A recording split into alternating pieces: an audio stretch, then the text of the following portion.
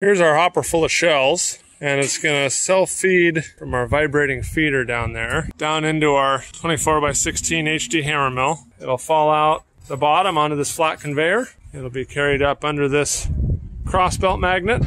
Any ferrous material will fall into the green bin there and the crushed shells will come up this conveyor into this red barrel. And as you can see from the video, they all got pretty well mashed up and dinged up one of the requirements is that the, the shells need to be destroyed so when they export them for recycling, they can't be reused or reloaded.